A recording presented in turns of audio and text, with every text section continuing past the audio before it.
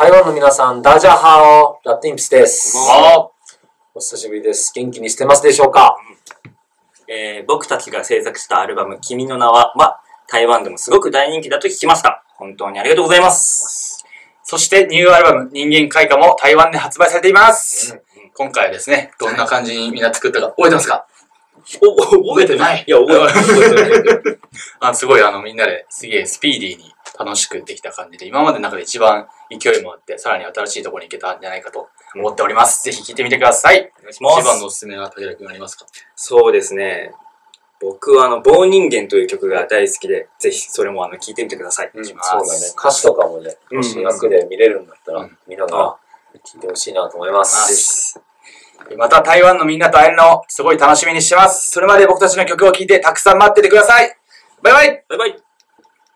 君の全然前世から僕は君を探し始めたよ。その不器一丁な笑い方をめがけてやってきたんだよ。君が全然全部なくなってチリチリになったって。もう迷わないまた一から探し始めるさ。むしろ全